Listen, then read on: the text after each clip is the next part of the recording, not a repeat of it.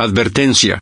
En el siguiente contenido, estaremos conversando con Farruko, y por primera vez en la historia de todas sus apariciones post-Pepas, por fin descubriremos la verdadera razón por la cual hizo un cambio de mensaje en su carrera musical. Por favor sírvanse sus comestibles y refrescos favoritos. Esto va a estar serio. Disfruten. Gracias.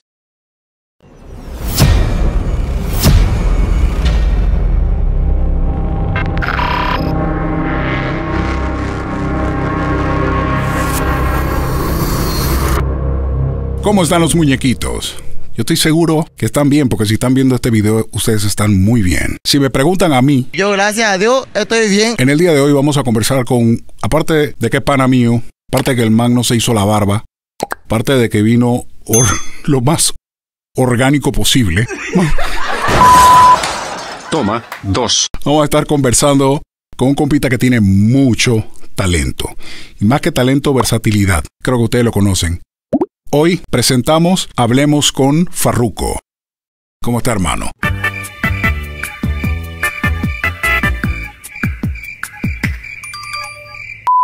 Toma, 3. Me cogiste, tú sabes que nosotros los artistas, ¿verdad? Bueno, ya yo no. Las estrellas Ok. eh, siempre están bien producidas y lo que mostramos casi siempre, pues, es cómo quisiéramos ser Exacto. en vez de cómo somos Exacto. en las redes y en lo que vendemos. Y pues yo no hacía una entrevista si no estaba eh, refinado, cerquillado, ¿me entiendes? Afincado como es. Y pues hoy me, me tomo el tiempo, pero mi palabra cuesta más que eso. Así que estamos aquí. Ahora no entendí bien si en, en ese mensaje dijiste como que no te importa la entrevista conmigo, por eso no te acicalaste o quisiste decir. No, lo que te quise decir es... Volviendo acá. Yo te quiero hacer una pregunta porque yo siempre tuve esta incertidumbre. Y es la siguiente. ¿Por qué Farruko? ¿Quién te puso ese nombre? ¿Por qué escogiste ese seudónimo artístico? Mira, Farruko es un apodo que le pone mi bisabuelo a mi papá. Entonces, eso estaba conmigo ya desde, desde antes que yo estuviera dentro de las bolsas de papi. ¿Por qué? Porque ya le decían así. Entonces, cuando yo nazco, automáticamente yo soy Farruquito, el hijo de Farruco. Entonces, pues, ya desde pequeño me decían así. Ok, pero eso viene de algo, de algún, de alguna frase, de algún nombre o, o simplemente es, eh, No, le decía no así. sé, papi nunca me supo explicar porque yo no, yo no llegué a conocer a mi bisabuelo. Este, pero me dijo que sí, que él siempre le dijo así, desde que él tiene noción. El abuelo, eh, su abuelo, mi bisabuelo le llamaba Farruco. Ok. Cuando tú eras niño, ya que estamos hablando de abuelas y, y todo lo demás, cuando tú eras niño, ¿tú qué pensaste que tú ibas a hacer cuando fueras grande? Porque todos tenemos algo de que, bueno, yo voy a ser bombero, yo voy a ser policía, yo voy a ser doctor, yo voy a ser... ¿Qué tú pensaste que tú ibas a hacer? Pues mira, a mí siempre me gustaron, porque no es que me gustaron, es que me quería en eso, la cuestión de los vehículos y eso. Pues obviamente mi, mi vengo de ahí, mi papá tenía taller de, de, de auto, tenía un car wash, mi abuelo eh, era dueño de una bomba de gasolina. Entonces siempre estuve rodeado del mundo de los autos y la velocidad. Y pues siempre estaba en, en, en eso, pero mano, la música siempre estuvo presente porque por otra parte, siempre lo que se escuchaba allí en el taller y en la bomba de gasolina eran los equipos de música de los carros, con música, ¿me entiendes? Y pues siempre estuvo ligado de cierta manera de los manos y eso, y eso fue lo que, lo que me inspiró, brother, a, a, a ser cantante. Te inspiró a ser cantante, pero entonces en ese viaje que es tu vida, ¿en qué momento te diste cuenta que ibas a terminar de verdad trabajando en la música en alto nivel? En la escuela, en la escuela, porque yo, yo, o sea, yo tengo problemas de concentración. Yo soy una persona que no, no me concentraba y todavía me, me- me cuesta concentrarme en algo. Entonces, yo veía que cuando yo leía, para la única manera que yo podía leer era dándole tonalidad a la lectura. Y siempre estaba eh, tarareando y como que hacía lo que leía, lo, trataba de decir cantado. Y desde ahí ya empezó esa inquietud conmigo en la música. Y yo decía, espérate. Y de momento empecé a improvisar. cuando empecé a improvisar, me dio con, con, con aprender a cantar y rapear. Y, brother, lo, lo ponía en práctica todos los días. Todos los días yo practicaba. No, no sabía cómo hacerlo, pero me ponía a buscar gente que lo hacía, videos musicales. eh, siempre estaba pendiente a los behind the scenes, a, a- a- los making of, ¿me entiendes? Viendo. Y ahí fue que, que- que empecé a coger identidad dentro de, de- de la música. entrar a la industria de la música no es todo el mundo que quiere hacerlo que lo logra. Entonces mi pregunta más bien sería en qué momento, en qué momento te diste cuenta de que, sabes que ya estoy en grandes ligas, ya lo yo, logré. Yo creo que fue el destino porque yo empecé haciendo esto de hobby, vacilando. O sea, nun- nunca lo vi como un trabajo. Y a diferencia de otros artistas, eh, mi carrera ha sido una que ha sido desde cero tocando puertas. Por ejemplo, a mí no vino una disquera y me filmó y te vamos a hacer una estrella. O sea, yo siempre fui ese chamaco presentado, como diríamos en Puerto Rico, eh, que significa curioso que decía, eh, hay un party hoy aquí de la escuela, ¿puedo treparme y cantar? Eh, hay un party en el caserío, un cumpleaños, mira, puedo, yo le meto, yo puedo tirar una canción y aunque nadie me conociera. Este, eso fue lo que de momento, es- ese atrevimiento, fue lo que me llevó a que se abrieran puertas y esas puertas, cuando ya empecé ya le estaban hablando a la gente de que, mira, hay un chamaquito que le mete que se llama Farruko. Y artistas se acercaron, mira, vamos a hacer una colaboración. Mira, te invitamos para tal show. Mira esto, lo otro. Hasta que cuando vine a abrir los ojos, ya mi oficio era ser cantante. ¿Tienes alguna persona en especial que puedas decir, sabes qué? Esta persona yo la llevo cerca en el corazón porque me dio la mano para lograr mi objetivo, que es ser grande en la música. O sea, mi primera oportunidad, como quien dice, en grandes ligas. ¿Tienes alguna persona que... Mi primera oportunidad en Grandes Ligas me la dio Ñengo Flow. Mi prim- fue el primer artista así, más o menos eh, reconocido, ¿verdad? Que me dio, te digo, en ese momento, este, que me dio la oportunidad, pues Ñengo es una superestrella ahora y es mi amigo. Eh, otro que me dio una oportunidad bien grande eh, fue Alex Gálgola. Fueron los primeros dos en cuestión, si hablamos de grandes ligas. Eh, porque Ale había hecho un álbum que se llamaba Los Brothers en ese tiempo y tenía una intro donde salía Arcángel, varios artistas. Y él iba a, a lanzar ese álbum, pero la intro para ese tiempo todavía se estaba, que se liqueaba la música, se soltaba la música antes, porque no habían plataformas digitales, se pirateaba, como quien dice. Y, y él vino y dijo, yo voy a soltar la intro del disco para aprender la vuelta, pero este chamaquito está sonando en la calle, déjame meterlo. Y me dio esa oportunidad de tirarla ahí. O sea, yo no salí en la versión original del álbum, pero salí en la que corrió por la calle. O sea, ahí fueron como que yo digo, esas dos oportunidades fueron dos oportunidades grandes al bate, que después me abrieron las puertas con otros artistas. Ahora volteando la tortilla, en este negocio uno también se encuentra lo opuesto. La gente que te, te da la mano, pero también está la gente que te mete el pie.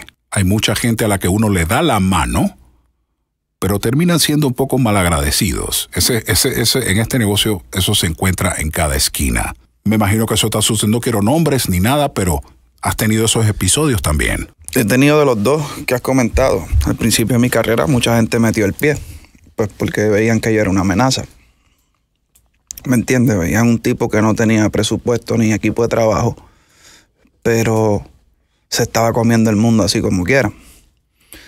Y ahora pues en esta etapa, y antes de llegar a esta etapa, yo siempre he sido visionario, en cuestión de que Dios me ha dado el, don y la visión de decir tal persona que viene por ahí subiendo que todavía no le han prestado mucha atención es el próximo. ¿Me entiendes? Y es un peligro ese, ese don porque eres el primero que lo ve y, quizás al poner la mano ya ya le sumas a la bendición que trae esa persona, ¿me entiendes? Y se vuelve algo que se materializa como éxito ante los ojos de, las personas. Pero ¿qué pasa? Si esa persona no tiene su, corazón listo para recibir esa bendición, eh, en cierto momento se puede desviar y pues te puede eh, traicionar, ¿verdad? O, puede virarse, como decimos en, en la calle y en Puerto Rico y te causa un gran dolor porque lo que pasa es que cuando uno tiene visión, chombo, la visión es parte de la sabiduría. Eh, no es lo mismo tú decir, esta persona le mete, a tú decir, yo veo lo grande que puede ser esta persona. Entonces, cuando tú ves lo grande que puede ser persona, tú metes la mano y metes el corazón. No metes un negocio. ¿Tú me entiendes lo que te quiero decir? Perfectamente. Y ahí es donde uno pues sale lastimado porque tú estás metiendo tiempo y pasión de ti. Y le estás pasando una energía buena a, eso. Entonces ahí se materializa la, la, vuelta y le das ese complemento a esa persona que quizás era lo que le faltaba para crecer. Pero a veces, cuando este tipo de personas crecen, se creen que ha sido por ellos o... Ese precisamente es el problema en esta industria. Exacto, se les olvida o viene mucha gente también, porque no los culpo también, y le llenan el oído por querer una posición o un pedazo de, ese, de esa bendición que está ahí, que sabe que le va a suplir, y le dicen y le envenenan la cabeza para que donde primero se desarrolló, que fue contigo, le digan, no, papi, ese tipo está haciendo las cosas mal ese tipo no te conviene, tú tienes derecho a crecer más, esto, lo otro, y contaminan la atmósfera y, dañan, dañan amistades, dañan eh, cosas buenas, brother, que pueden suceder. Totalmente. Si tú te rodeas de la gente que no es, el resultado no va a ser bueno. Entonces, lo que quieres decir en realidad, tú tienes ese, ese, ese don de intuir, tienes esa intuición de que esto puede ser muy grande o también funciona en lo contrario, tú puedes sentir un, rechazo como que eh, eh, no, me, vibra esta persona. Es una bendición, pero toda bendición trae consigo una responsabilidad. ¿Me entiendes? Entonces tú tienes que saber cómo, cómo manejar eso, porque no es tan solo con personas, es con, cosas, momentos. Decisiones de negocios. Decisiones, negocios. Entonces, eh, tiene sus pros y sus contras, pero no deja de ser una bendición, porque es lo que el, el, el tú eso es lo que te hace mirar antes de tiempo. ¿Me entiendes? Y eso te ayuda a materializar o capitalizar eh, ese tipo de concepto. Manifestar. Manifestar es la palabra correcta. Correcto. Ok, dime esto. ¿Tú tienes alguna canción es tuya misma, en especial que tú la guardes como que, wow, esa canción me gustó, me quedó, me quedó me quedó cabrona. La canción me encanta. me quedó muy bien. Me, o sea, o no sé si lo asocias con algún momento en tu vida en donde te sentiste de alguna forma. ¿Tienes alguna canción en especial de las tuyas? De las mías, por ejemplo, es que mira, cada, cada canción mía de un tiempo para acá, y te estoy hablando desde antes de convertirme, habían canciones que tenían pedazos de mí. O sea, cuando te digo pedazos de mí, es que yo soy un artista que no todo el tiempo le, le, he cantado al, al trending. Quizás no fueron los más famosos o los más épicos o icónicos míos, pero tienen algo de mí. Tienen, tienen, o sea, que el día que yo falte, tú puedes escuchar esa canción y decir, mierda, este tipo, este tipo era... Bueno, Farru, pero sucede lo siguiente, que en esta industria también, porque esto, esto es una industria, es un negocio, Muchas veces como compositor o como lo que sea, tú puedes hacer canciones y ahí tú le dices a la industria, mira, aquí hay 10 canciones mías. Pero la industria no siempre va a promover la que es Exactamente. la favorita tuya. La industria busca el mainstream, busca los números, busca eh, eh, lo popular. O sea, ahora mismo tú vas a una disquera y tú le puedes llevar una canción que tú hiciste con el alma y el corazón. Que tú sabes que va a hacer que la gente se identifique y les va a mover el corazón. Pero la disquera te va a decir es que esa temática no está dentro de los números y las gráficas que nos da a nosotros, que le llega a, cierto tipo de público que es el que nos consume a nosotros. Porque a la disquera no le importa que tú llegues al corazón de las personas. A la disquera lo que le importa es la plata y ya. ¿Me entiendes? y tampoco quieren dividir el público. ¿Me entiendes? Quieren. O sea, si tú le dices a una disquera, yo soy esto, y yo me quiero ir por aquí a una disquera que es mainstream, vas a chocar. Porque te van a decir, brother, es que nosotros necesitamos llegarle a la masa. O sea, el negocio de nosotros está en la masa. Entonces, al tú definirte como algo y cantarte como algo, decir yo soy tal bando, ya tú creas división y creas una resistencia de cierto lado. Claro, pero si esa parte, esa división, la parte que está dividida es grande y da números, ahí no tienen problema. Exactamente, pero si ya los acostumbraste a darle Chef Boyardee todos los días y de momento le vas a traer este una sopa, te las van a vomitar. Porque ya ellos están acostumbrados a Chef Boyardee. Eso es muy cierto. ¿Tú tienes algún que no sea urbano? Vamos a salir por completo del, del, del urbano. ¿Tú tienes algún artista que escuchas, que admires, que te guste? Varios. Algunos están vivos, otros... No importa, vivo o muerto, no importa. Eh, Número uno, Bob Marley. Eh, número dos, eh, Juan Luis Guerra. Y número tres, Ricardo Arjona. Son artistas que los considero muy revolucionarios, que corren en base filosofía de vida, ¿me entiendes? O sea, aunque están dentro del arte de hacer música y de ser creativos y todo lo que sea, pero hay un movimiento detrás. Son tipos que le, gusta marcar su identidad, su dejar su huella, ¿me entiendes? Por lo que he podido estudiar de, ellos. Bob Marley, Juan Luis Guerra, Ricardo Arjona. Eso coincide, Ricardo Arjona creo que coincide con Don Omar, creo. También dijo eso. Tengo un sueño en mi vida y es cantar junto con Ricardo Arjona. Yo voy a caminar con la sonrisa del niño más feliz del mundo por el simple hecho de que lo catalogo un super compositor, un super arreglista, super cantante. Para mí es a otro nivel, a otro nivel, a otro nivel. Y el urbano, Don. Y del urbano, Don. Estaba oyendo, Don. mi pana, él sabe, él es mi papá, él sabe que yo le digo que él es mi papá. Gracias. ¿Qué te hizo abrir Carbon Fiber Music? Yo creo que fue mi, trayecto en el camino de, esto de la industria. Volvemos al tema de la industria. Como te dije, yo no tuve una disquera desde el comienzo que dijera, te voy a coger y te voy a desarrollar. Te voy a meter toda la plata del mundo, eh, voy a abrir todas mis puertas y conexiones y te voy a llevar.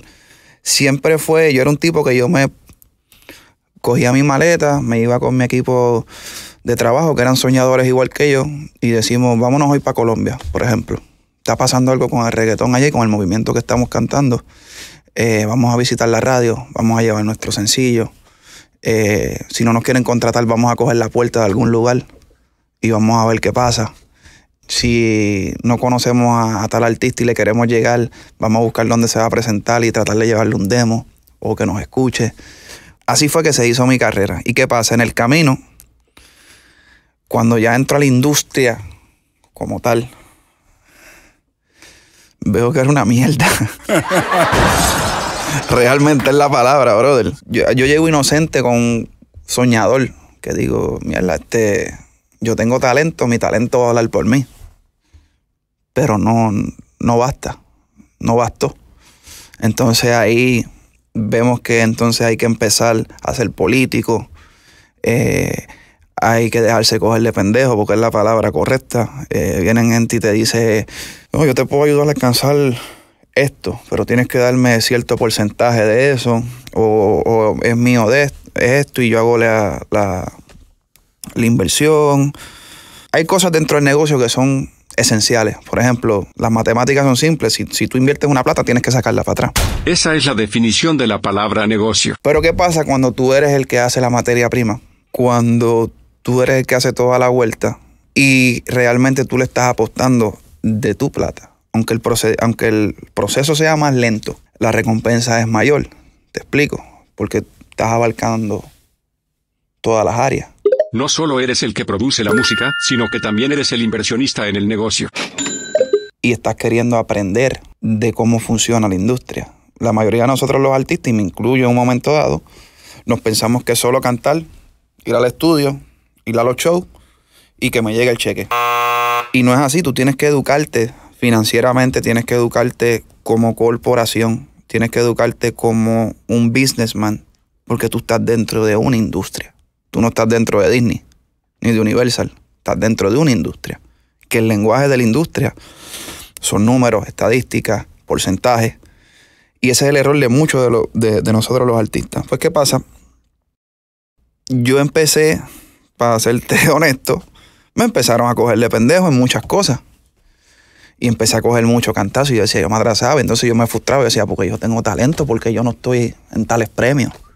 Yo tengo talento porque mi música, si suena en la calle más duro, no está número uno en la radio, si es lo más pegado que está en la calle. Entonces yo me hacía ese tipo de preguntas. Eh, ¿Por qué tal artista que no le mete lo tienen posicionado en tal lado y lo suenan tanto si en verdad el tipo no le mete? E-, esa inquietud era válida en ese momento porque estaba detrás de mi sueño. Y todo eso me inspiró a crear Carbon Fiber Music. Porque yo dije, yo no quiero que esta conducta siga. Y si yo voy, ya yo pasé este camino, yo voy a dejar la marca de mi ruta. Y yo quiero que por mi ruta pasen otros y puedan llegar más lejos de donde llegue o puedan llevar esto más allá. Como, como un pirata. Flow Cristóbal Colón. Eh, nadie creía que había tierra más abajo y yo conseguí la tierra. Logré hacer la ruta. Pero en vez de hacerla y guardármela para mí, la marqué. Y dije, el que quiera venir y pasar bien por aquí, que yo sé dónde están los tiburones, sé dónde está el pulpo que te atrapa, sé dónde vienen los piratas a quitarte el botín, para que no tengas que pasar por ahí, pasa con, con esta ruta que te estoy dejando, que es Carbon. Y es mi huella, es mi identidad, es mi legado. O sea, el día de mañana, Farro no está, ahí se quedó una compañía que quizás no es una multinacional ahora mismo, como un Sony, como un Universal, pero yo sé que se puede convertir en eso. ¿Por qué? Porque tengo visión. Y la visión para mí va más allá de, de mi vida. Hay generaciones que van detrás de mí y quizás los hijos míos pueden continuar con ese legado. O quizás otra persona que tenga la visión se pueda coger esas herramientas que yo dejé ahí y hacer crecer más jóvenes soñadores. En base a una filosofía de valores y códigos. Porque hay muchos que pasan y hacen la ruta, pero se llevan mucha gente enredada en el camino y hacen daño para poder llegar a la tierra. Y lo que quieren es colonizar. No, yo lo que quiero es que pasen, que lleguen, se sientan en su casa y crezcan y de ahí sigan el relevo. Y dime algo, entonces tú tienes para los integrantes, porque sé que tienes personas en Carbon, a estos otros artistas que tú tienes allí, ¿tú tienes algunas reglas para ellos o, o tú los dejas ser quienes son? O, y más ahora que, que que tú hiciste un cambio dentro de esos artistas, entonces tú qué, cómo reaccionas a lo que ellos, porque no todos están obligados a hacer el cambio que tú hiciste. Exactamente. Entonces, ¿cómo tú te manejas con eso? Pues mira, ha sido bien complicado y es la etapa que estoy viviendo actualmente. Este, con, con esto del sello. Obviamente, yo tenía varios artistas ahí que no hacían, ¿verdad? El mismo tipo de música que yo. Pero obviamente yo, uno los traje yo, otro los trajo mi socio Frank. Y pues los metimos dentro de lo que es la visión de Carlos. Pero ¿qué pasa? Ellos no tienen la culpa de que yo me haya pasado lo que me pasó y de que yo haya decidido cambiar mi, mi norte con mi música y lo que es mi empresa. Responsablemente yo le dije, mira, ahora yo voy en esta dirección. Eh, yo sé que tengo negocios con ustedes, yo voy a cumplir, eh, ¿verdad? Lo que, lo que pautamos. Pero luego que yo cumpla lo que pautamos, yo quiero manejar esto hacia esta dirección porque ya yo voy en rumbo a esa dirección. Entonces no podía votarlos tampoco y decirle, hey, ya no voy por aquí, porque sería yo juzgar. Y hay un compromiso por Y escrito. hay un compromiso. Eh, ¿Qué pasa? Sí lo mantuve un tiempo. Muchos pudieron soportarlo, otros no. Otros me dijeron, mira, no me siento cómodo, me siento que no puedo ser yo, yo quiero irme, quiero hacer otras cosas. Y dije, tranquilo, no hay problema. Entonces me tocó eh, finalizar el, el acuerdo y que sigan, sigan su camino. Algunos se quedaron y están firmes. Bueno, los que se quedaron y están firmes les tienes reglas. No les tengo reglas, pero sí le dije, sabes la dirección que vamos. Si me puedes ayudar con esta dirección mientras esté aquí, te lo voy a agradecer porque no tan solo me vas a ayudar a mí, te vas a ayudar a ti mismo. Porque yo no te estoy diciendo no seas. Te estoy diciendo, mira lo que está pasando conmigo, todos los errores que cometí, todo lo que pasé. No necesariamente entiendo que lo que me funciona a mí te va a funcionar a ti. Pero coge lo bueno, desecha lo malo y aplícalo en tu vida y tu carrera, porque quizás puede ser de gran ayuda para ti. Entonces, pues tengo algunos artistas que están ahora mismo en esa etapa de esa transición, de ver cómo, cómo lo hacen. Porque también hay una confusión, Chombo, es que, como hablamos ahorita detrás de cámara, quizás yo me apresuré al gritar, soy esto, soy cristiano, ¿me entiendes? Me convertí, pum, pam, pum, pam, sin medir que no va a ser de la misma forma que los que ya han gritado eso, ¿me entiendes? Porque todos tenemos eh, una manera distinta de digerir y de llevar, ¿verdad? La, las cosas. Déjame agregar algo ahí, eh, no es que te quiera interrumpir, pero déjame agregar algo ahí, es que no es lo mismo venir de un género urbano y decir, ahora soy esto, Exactamente. a venir de merengue o a venir de otro de otra cosa y decir lo mismo. Exacto. Esa es el- la única lo que yo veo. Claro. Eh, y tienes toda la razón. Entonces, ¿qué pasa? El último referente de ahí había sido Héctor, Julio Voltio. Entonces, o sea, de, de- de los que, que- que tenían nombre, ¿verdad? Y, y seguidores. No, y en Panamá también, el general, Ah, ese fue el primero. sí, eh, ahora es testigo de Jehová, el tipo se retiró por completo, de la, pero se retiró. Exacto. ¿Qué pasa? Quizás en el momento que les llegó a ellos, era un momento donde quizás estaban a punto de colapsar eh, personalmente, vamos a ponerlo así. Eh, y sus carreras pues quizás no estaban también en su mejor momento. Vamos a ponerlo así, no puedo decir, no puedo hablar por general, no puedo hablar por ninguno. Yo te puedo hablar por mí. A mí me pasa en el mejor momento de mi carrera. O sea, cuando por fin le di a la corona, quise, ¿me entiendes? Al timbre, le di.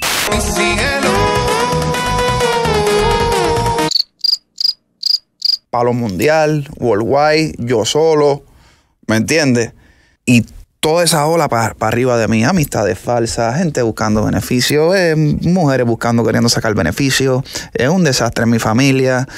Estaba en el furor de la carrera. Estaba ciego por lo que estaba pasando al, alrededor mío. Entonces, brother, el, el humano estaba gritando, hey, te olvidaste de mí, te fuiste flow estrella y te olvidaste de mí. Y tenía ese conflicto hasta que colapsé, ¿me entiendes? Y colapsé en cuestión de que tuve mi encuentro y, y Dios me, me- me enseñó, me enseñó a valorar, me, me- me- me hizo tocar fondo en mi mejor momento. Porque no es lo mismo tú tocar fondo cuando tú vas así, a tú tocar fondo cuando tú estás allá. O sea, no todo el mundo allá arriba tiene las pelotas para... Sí, no, de seguro, ni siquiera te voy a llevar la contraria con eso, ahí tienes toda la razón, no es lo mismo porque el momento en que tú decidiste hacer ese es otro, pero cuando tú haces eso, ¿cómo tú sentiste la, la respuesta de, no del público, eso es otro, son otros 500 pesos? ¿Cómo sentiste la reacción de la misma industria cuando tú saliste? No, la industria, la industria fue la, la- que más duro me dio. ¿Me entiendes? La que, porque está bien, el fanático te, te comenta. el fanático reacciona a algo que diga la industria, a una noticia, eh, a un meme, a una entrevista. Pero la industria es la que hace el amarillismo, es la que hace el morbo, es la que cierra puertas y te dice, eh, ya esto no nos da los mismos números, eh, no te puedo llevar porque mira, no se están vendiendo boletos, no tenemos el mismo presupuesto porque mira, esa música no creo que llegue a la misma masa. ya no voy a grabar contigo porque no estás trending o no tengo un beneficio para sacarte. Ahora es cool. ¿qué pasa? La industria es más cruel que, el fanático, porque la industria actúa. La industria es la que mete el pie. La industria es la que mete el pie, es la que hace el movimiento. El fanático corre por, lo que pasa en la industria. Correcto. Eh, pero quien hace el movimiento y la acción es la industria. Entonces, he sido muy golpeado por la industria, no te, no te, lo voy a, a negar. Pero, brother, qué bueno. Porque sigo conociéndola más cada día. ¿Me entiendes? Y sigo viendo que sí, que no. ¿Me entiendes? Entonces, como. Para resumírtelo y no hablar tanta mierda, brother, es lo mejor que me ha pasado. sí, porque muchas máscaras se caen. Exactamente. Y entonces empiezas a ver el verdadero color de la gente. Exactamente. Mira la pregunta que yo te voy a hacer a ti. tú me la quieres contestar, perfecto. ¿Cuál fue la gota que derramó ese, ese vaso para que tú tomaras esa decisión? O sea, porque me parece que tiene que ser algo muy fuerte. Sí, mira. Este, se me paran los pelos porque es bien real, hermano. Yo estaba, si, si fuera por mí, como ser humano, yo nunca hubiera soltado el control. ¿Me entiendes? No lo hubiera soltado porque estaba en mi mejor momento y en el éxito a lo que le llaman la gente aquí en la tierra, que fama, poder, dinero, seguidores, lo que sea. ¿Qué pasa? Este tipo a mí me llevó a reflexionar cuando yo voy de camino a, a un show y me, me, dio una jodienda, no sé qué me dio. Y yo siento que me empiezo a despegar de mi cuerpo. O sea, yo siento que me estoy muriendo. Cuando yo siento que me, estoy muriendo, había gente alrededor mío y le digo, hey, llévenme al hospital que no me siento bien. Mi, corazón este, va, va, muy rápido, lo siento a las millas y no siento que el cuerpo me está haciendo caso. Estoy moviendo los dedos y mis dedos no se están moviendo, no siento las piernas. Y entro en un desespero donde empiezo a reflexionar automáticamente porque me estoy muriendo. O sea, tanta la, la, impresión y lo que me está dando el sentimiento real y todo lo que está pasando de que me estoy muriendo que empiezo a autodespedirme de, de, de mí y de la realidad en ese momento. Y no sé cómo lo primero que estaba en mi mente, en mi corazón y en mi alma empecé a hablar con Dios, brother. En ese momento empecé a decirle, ¿en serio me vas a matar así? ¿En serio ya aquí en mi último día me voy a morir aquí en la guagua? Eh, de un ataque al corazón o lo que sea, de un colapso o lo que sea. Y se acabó todo esto. O sea, yo digo que lo que me pasó ahí, literalmente es que la muerte me visitó, brother. Es como que sentí lo que siente una persona cuando se está muriendo o cuando se, cuando se está, o se murió y literalmente su, alma se está desprendiendo de su cuerpo. Y caí en ese, en ese abismo, ese, ese, ese, esa nada, donde estaba yo solo, reclamándole a Dios que por qué me había quitado la vida ahí, que todavía me faltaba eh, mucho por lograr, mucho por conquistar, mucho por vivir, y lamentándome de las cosas que no hice, lamentándome de lo que no cumplí, eh, diciéndole, se me acabó el tiempo ya. Y eso me, me cuando de, o sea, para contártelo por parte, cuando voy al hospital me chequean, me hacen todo, pum, pam, no tengo nada. Tenía nada. Nada. Me trataron como un loco. Este tipo, no sé, se metió algo o, se fue. yo no me metí nada, o sea, no, nada. Me, dio esa loquera. Y yo bajé fundido. Porque cuando, cuando me siento que regreso al cuerpo, que estoy ahí, que estoy bien, que, que me, me vuelvo a sentir, que me dicen que no tengo nada. O sea, eso a mí me fundió. Me marcó para siempre. ¿Y qué pasa? Vengo gritando de allá, que no es por ahí, que es por acá. Que no importa nada de eso que logré, que hice, que si la fama, que si el dinero, que si esto, que lo que importa es el tiempo que estás aquí vivo. Entonces no pude controlarme. La emoción fue tanta de lo que viví, de lo que sentí, que yo no podía callar eso. O sea, yo sentía que si yo callaba eso, me, iba a ir de nuevo. Para que tú entiendas. Entonces era la presión que yo tenía. Y esos fueron los cojones y la fuerza que me dio para yo gritarle al mundo en mi mejor momento, ¿sabes qué? No voy más. Se acabó. Es por aquí, no es por allá. Y de ahora en adelante es por aquí.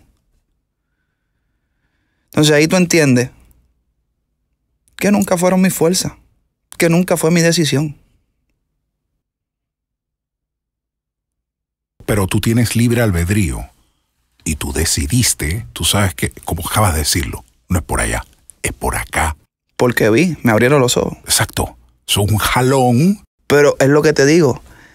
Si no llega a ser por ese jalón, Claro que no. no viene. Entonces, No, claro, hubo trampa. claro. Me hicieron así. Mira. Porque hay gente que se muere y no la hacen así y no mira. ¿Tú me entiendes lo que te quiero decir? Ahora vamos más profundo todavía. Si te hacen así, lo que estás reconfirmando con eso es que entonces tú tienes una misión aquí. Hay un propósito hay un propósito. detrás de eso. Y yo estaba sin propósito. O sea, yo llegué a tener la canción más pegada del mundo con una mente, una letra, una actitud vacía, sin propósito. Buscando éxito. Cosas terrenales, banales. Éxito cosas- terrenal. ¿Cuál es el éxito terrenal? Dinero, fama, poder, aceptación. Que al final es vanidad de vanidades. Porque me di cuenta en ese preciso momento cuando sentía que perdía la vida, que nada de eso me podía virar para atrás. O sea, nada, na- ni mi dinero, ni la fama, ni los fanáticos, no, no, no. ni los seguidores, ni los likes me iban a traer para atrás. ¿Me entiendes? Cuando Chubito dice que yo le dio cariño a Chubito, se acabó el tiempo, se acabó el tiempo. Y nosotros vivimos pensando que tenemos el mañana asegurado. O sea, tenemos un ego tan grande, nosotros los seres humanos, que decimos, ah, te veo mañana. No es que te veo mañana, Mañana no está caballo. garantizado para Mañana no está garantizado. Si Dios permite, te veo mañana. ¿Me entiendes? Sí. Hace- hacemos plan y decimos, no, la semana que viene me voy de viaje.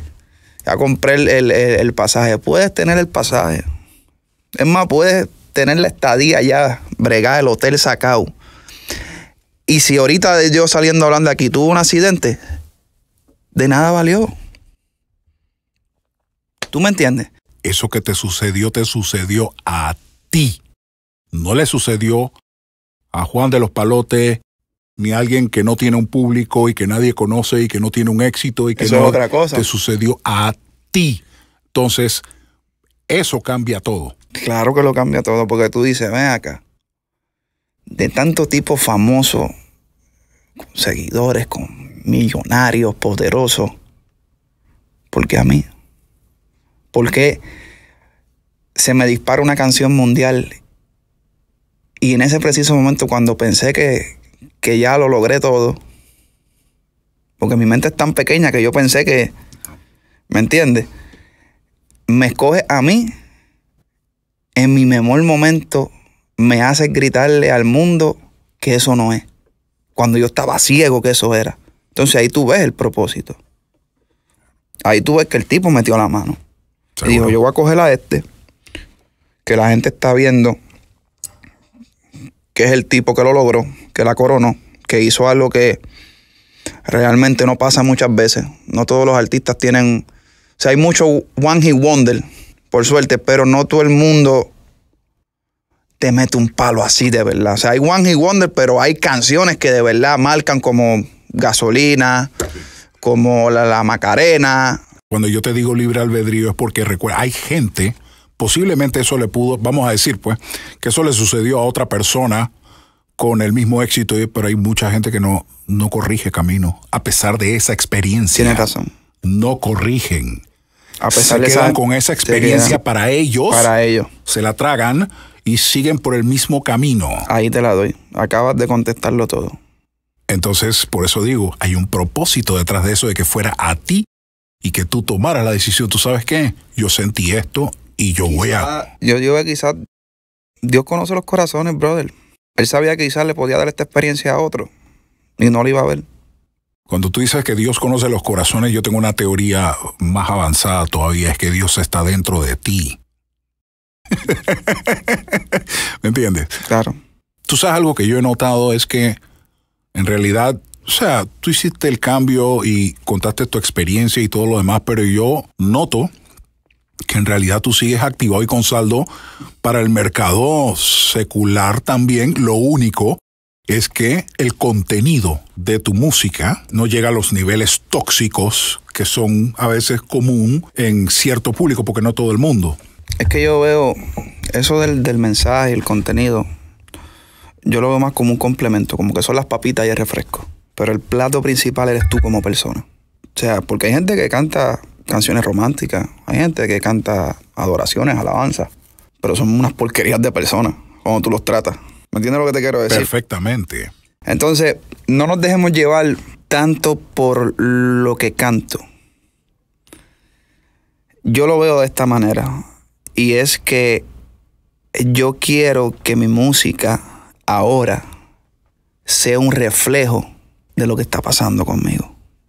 Como te dije ahorita, nosotros los artistas, las estrellas, eh, corremos con el sistema este que hay en las redes ahora, que editamos y ponemos las versiones que queremos ser de nosotros. En realidad no somos. Yo quiero ser no la versión que no soy frente delante de la gente. Yo quiero ser la versión que yo soy. Arriba, fuera del escenario, delante, detrás de la cámara. Por eso te dije, eres el que tiene la primera entrevista mía sin que yo me haya acicalado tanto. ¿Me entiendes? Esta entrevista vale. A continuación, un leve espacio para que te puedas volver a servir tus comestibles y bebidas. Puedes presionar pausa. Si todo listo, entonces, volviendo acá. Pero es eso, es que ya tú empiezas a derrotar tu ego, empiezas a vencer tu ego. Y antes yo no podía salir de mi casa, no podía dar una entrevista, no podía prender el celular, la cámara, sin sentirme que estaba bien vestido, sin sentirme que estaba bien cerquillado. ¿Por qué? Porque te quería vender la mejor versión de lo que no soy. Y ahora pues me cansé de eso. Ya me quité el traje de Iron Man. Ahora soy Tony Stark todo el tiempo. Pero Tony Stark sigue siendo ese gran inventor y gran héroe. A pesar de que tenga o no tenga el traje. Pasa que la gente se acostumbró a ver el tipo del traje. Quieren ver a Iron Man, no quieren ver a Tony Stark.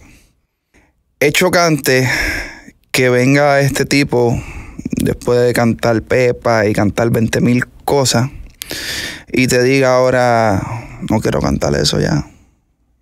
Quiero cantar cosas productivas, cosas buenas. Pero como levantaste la mano y dijiste, soy cristiano, pues la gente no, tiene que ser alabanzas ahora.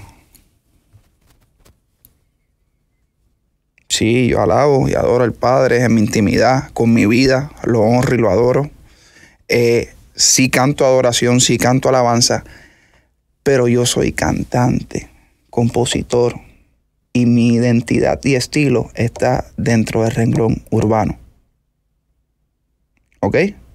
Entonces es como tú pedirle a un doctor que se convirtió y que deje morir a sus pacientes y que no los atienda, porque ahora él sirve a Cristo.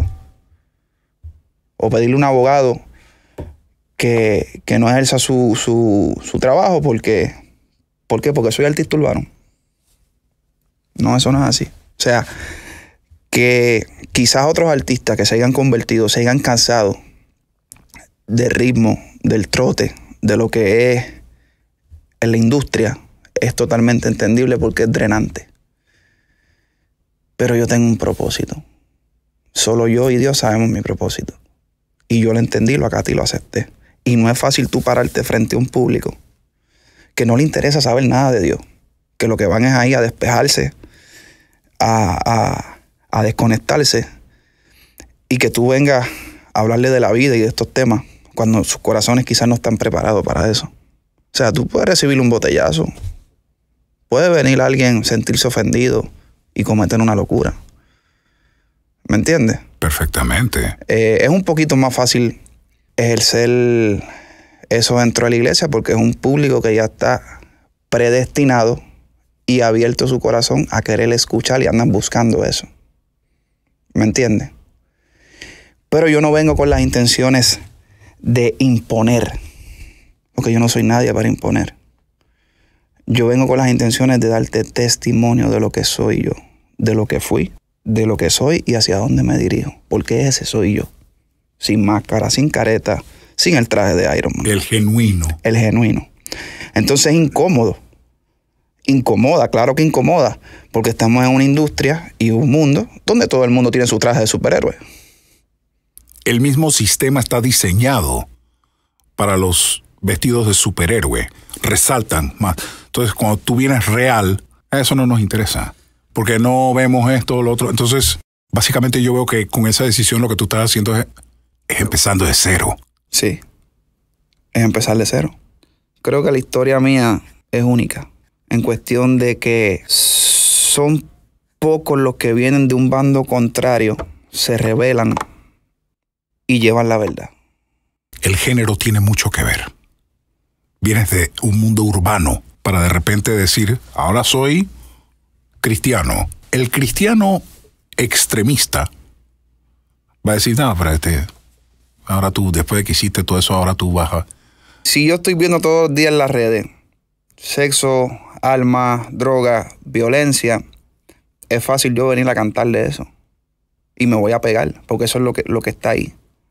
Pero si yo vengo a decir, hey, eso está mal, eso no es por aquí, hey, eso está haciendo daño, voy a ser un enemigo público automáticamente. Claro. Pero estoy siendo genuino y sincero conmigo mismo. Y más, tengo algo que me vaquea, es que vengo de ahí. Pude escapar de ahí. ¿Me entiendes lo que te quiero decir? Perfectamente. Entonces, no es lo mismo que te lo diga un tipo que toda la vida ha cantado música cristiana o ha sido pastor a que te diga un pecador, hey, yo vengo de ahí. y eso es feo. No le des por ahí, caballo. Mi recomendación, por lo que me ha pasado a mí, yo creo que debe ser por acá. Yo te lo dejo ahí. Tú lo tomas si quieres. Y si no, lo mío es poner la semilla. Y tú sabes, lo más irónico de todo eso es que muchas veces ese que desde un principio estaba de cristiano y que estaba promulgando eh, es, hasta más peca, es hasta peor que. Es peor porque hace más daño aunque tú no lo creas. Sí, porque es un lobo vestido de oveja. Es un lobo vestido de oveja. Y sigue vestido de ovejita, pero eso es un lobo. ¿Tú sabes cuál es el error del humano? De todos nosotros. El querer ver lo que sentimos. Cuando tú quieres ver lo que tú sientes, ahí es donde tú fallas. ¿Por qué? Porque se va la fe mientras tú sientas lo que no ves y creas, tu fe está intacta. Tú tienes muchas posibilidades de, ¿cómo fue la palabra que dijimos ahorita? Manifestar. ¿eh? De manifestar. Claro. Y yo creo en fe y en manifiesto. Yo creo que eso es lo que, a pesar de que quizás yo no conocía cómo funcionaba Dios, que todavía no lo conozco realmente, pero siento que, que, que mi alma se ha elevado un poco y que he podido avanzar. Monstruo, Dios está dentro de ti. Exactamente. Yo sé Monstruo, tú no tienes que conocer a nadie. Si ya eso tú trajiste eso desde que naciste. Pero no había despertado. No habías despertado y no habías elevado conciencia. No había elevado conciencia. Me corregiste perfectamente. Ahora vamos a la música. Tienen que dejar esa mierda, porque en verdad a mí me enferma, perdona que lo diga así, de querer demonizar la música. De querer decir que si no es alabanza, no es cristiano. O sea, la música no es cristiana, ni es diabólica. La música, estamos hablando de sonidos, eh, rítmica. Son eh, universal, frecuencia, sonidos, etcétera. Es el mensaje. es el mensaje y la intención, y más que el mensaje, la intención. Está bien, no, es que yo le meto y en verdad las rimas más duras están en pistolas, en marcas de, ropa. En, ok, caballo, pero ¿qué tú quieres lograr con eso? Antes que todo. O sea, está bien, se escucha cool, está chévere. Yo te voy a decir lo que te van a contestar. Yo quiero hacer mucho dinero, quiero hacerme famoso, quiero esto. Eso es lo que van a querer. Pues entonces yo me di cuenta que ese propósito es vano. Total. Ok, ¿cuáles son mis intenciones ahora? Cuando yo hago música. Bueno, primero yo quiero una música que mueva el corazón de la gente. ¿Me entiendes? Que, que le cambie el mood. Que les traiga alegría. Que les traiga felicidad. Básicamente lo que está diciendo es que, quiere que a través de su música, la gente vibre más en el amor, eleve su frecuencia y su ánimo con un buen mensaje, para que así no puedan ser parasitadas por el mal. Ahora. Nada de eso rima, pero tiene sentido. Y también es verdad. Bueno, volviendo acá. ¿Qué hace eso? Automáticamente al tú tener esa intención, eso regula y controla y forma un campo donde las malas eh, energías no entran a la hora de componer. Entonces ya tú cuando tú empiezas a ser creativo con tu música, ya hay unos parámetros que tú dices, espérate, esto es negativo, esto no lo voy a meter. Vamos a meterlo positivo. Y tú empiezas a canalizar toda esa frecuencia, toda esa vida, toda esa información. Y cuando tú vienes a ver, tú tienes música que perdura para siempre. Correcto. Porque tus intenciones es hacer algo que cambie, que, que inspire, que lleve más allá, porque ya tú no estás detrás de las intenciones de querer ser famoso, eh, querer decir, ah, es que ya lo lograste, es fácil decirlo desde ahí. No, no, no, pues, pues entonces vente para acá, y en tu mejor momento vamos a ponerte la misma prueba que me pusieron a mí, a ver si tú lo vas a tomar igual o que tú vas a hacer. No es tan difícil hacerlo si tú vienes de otro género, pero se ha estigmatizado tanto lo urbano hacia lo negativo, lo banal, lo, ¿me entiendes? Ahora, la buena noticia, y no es que yo sea Nostradamus ni en esa vaina, es que nada es para siempre. Correcto, todo es pasajero. La buena noticia es que eso está va a pasar de moda. Para mí la música es perfecta. La música tiene un poder muy grande en cuanto a tocar fibras y sentimientos y afectos. Es que nosotros estamos hechos de ondas y frecuencias. Total. Es, movimiento. Eso es lo que la gente no entiende de la música. Ahora, digo, la buena noticia, como te repito, es eso. Va a pasar de moda y en ese momento, en retrospectiva, cuando uno vea Farruco o Vicosí o, ¿me entiendes? Esta gente estaba haciendo eso desde... Ya, ya, eran escogidos para eso. Eso es una misión. Es una misión. Escogidos para eso, aunque tú me digas religioso, aunque me digas que estoy loco, aunque dime lo que tú me quieras decir. Te guste o no, lo sientas o no, ya, es, ya eso está en el chip como dicen los dominicanos, diablo, este podcast está profundo. a Johnny Depp, Johnny Alberto Depp. Ya estaremos en la superficie, dentro de dos minutos, con 48 segundos. Te vi, eso sí, ya fue hace un par de años atrás, te vi cantando una vaina con Jerry. Me gustó mucho lo que hiciste con Vele. Repito, tú sigues activado y con saldo. Ya lo que no vas a entrar es en el mundo de que no, que droga, que sexo. La que el chombo, perdona que te interrumpa, no es culpa de ellos, es lo único que han visto. Y lastimosamente, nosotros los seres humanos somos más ver para creer que creer para ver. Exactamente. Entonces, en cuanto a versatilidad, eso. En cuanto a ese cambio, yo no estaría preocupado porque, porque hay los números, que el trending, que esto y que lo otro. Yo no estaría preocupado por eso. En este momento, cuatro o cinco se quedarán como que, ah, no, pero eso no, pero no, no, en realidad más adelante lo van a ver. Lo van a ver. Lo van a ver. Lo van a ver porque lo van a ver y me, y me río porque que guarden esto porque lo van a ver. lo van a ver. Ahora sí, vamos al cierre. Hermano, yo te quiero agradecer no solamente yo, todos los muñequitos, tu presencia hoy, que haya venido, que hayas conversado con nosotros. Y yo sé que estuvo un poquito profundo el, el episodio, pero tenía que ser así. Siempre basta suceder que estas puertas están abiertas para lo que necesites.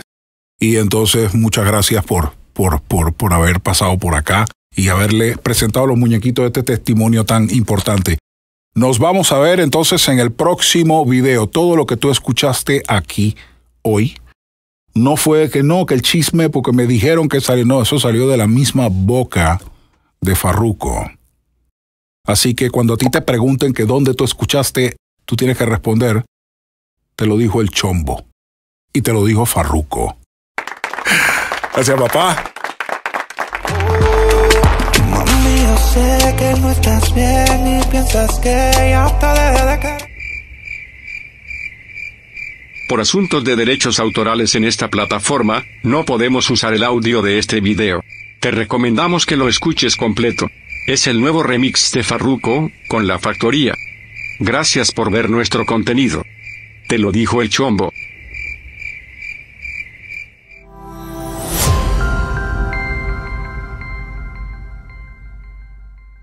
Soy de arena, mar y sol, soy caribeño. Soy ardiente.